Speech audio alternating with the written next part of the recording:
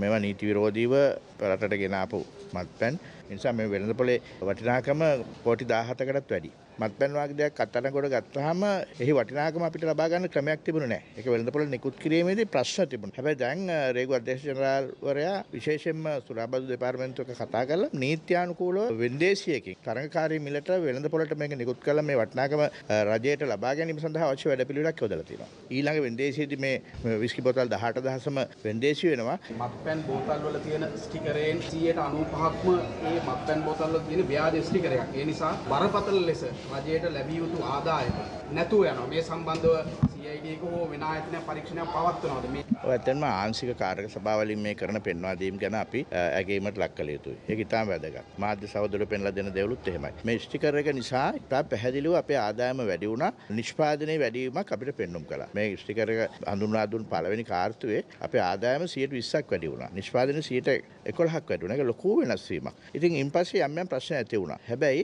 ඒ ප්‍රශ්න වලට දැන් අපි රජයේ හැටියට මුදල් අමාත්‍යාංශයේ ඍජුව මැදිහත් වෙලා දැවැන්ත වැටලීම් ප්‍රමාණයක් කරා. ඒ වැටලීම් තුල අපිට අඳුනා ගන්න ලැබුණා වැරදි ස්ටිකර්ස් තියෙන බෝතල් 49000ක්. ඒවට අපි උපරිම දඩය නියම කරා. දැනගන්න තියෙන තොරතුරු අනුව පසුගිය අවසාන සතිය වෙනකොට මේ වෙළඳපොලේ මේ මේ වගේ ව්‍යාජ ස්ටිකර් ප්‍රමාණය ඉතාම අල්ප වෙලා තියෙනවා. ඉතින් අවශ්‍ය වෙන්නේ අපි මේවට අවශ්‍ය ක්‍රමවේදය යොදලා මේවා හරියාකාර ක්‍රියාත්මක කිරීම. රටේ ලෝකෙ සිදුවන උණුසුම් පුවත් දැනගන්න සියත නිවුස් YouTube channel එක අදම subscribe කරන්න.